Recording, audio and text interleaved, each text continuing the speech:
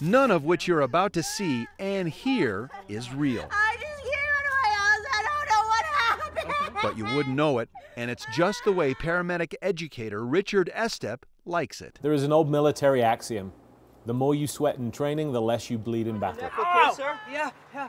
The training program at Rural Metro Ambulance is known as the most realistic and stressful training in Colorado. It's designed to be stressful. It's easy to train in a classroom, it's easy to verbalize things and tell students what they see. But there's no substitute for actually seeing the blood flowing, for seeing pale patients, for hearing screaming. Scenarios ranging from heart attacks to multi vehicle fatal car crashes in living color, designed to expose the rookie EMT to real life trauma.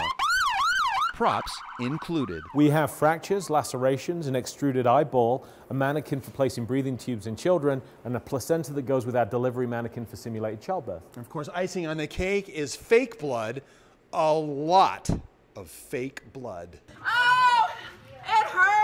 Rural Metro Ambulance employs over 300 EMTs. All have been through the grueling two week reality training, like EMT Jennifer Neal. That's the majority of what our jobs are is finding that stress and being calm in that stress. And the more we're prepared for that stress, the better we're going to do. Okay, right, cut. Baby's free. It's gruesome, stressful, and very realistic. Skills which someday may save your life. Dan Daru, Fox 31 Denver history. I see some blood coming out of the mouth. Did you see any anyone?